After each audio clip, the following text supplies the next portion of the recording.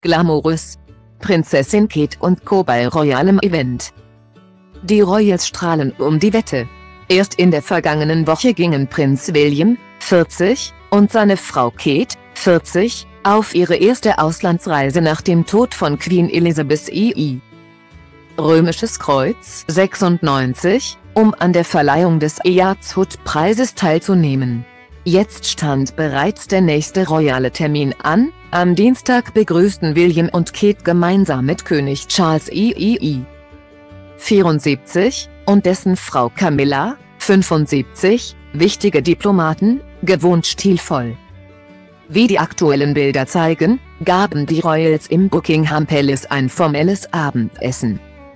Zu einem Diadem und Diamantohrringen, die zu Lebzeiten der Queen gehörten, trug die Prinzessin ein glamouröses rotes Abendkleid.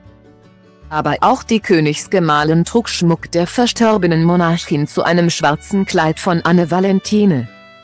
Charles und sein älterer Sohn trugen hingegen während des royalen Empfangs einen klassischen Anzug.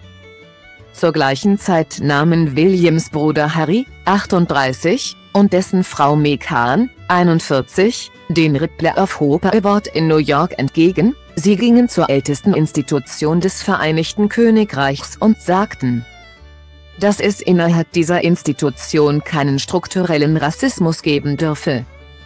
Erklärte Kerry Kennedy, die Präsidentin der Menschenrechtsorganisation, vorab gegenüber Telegraph.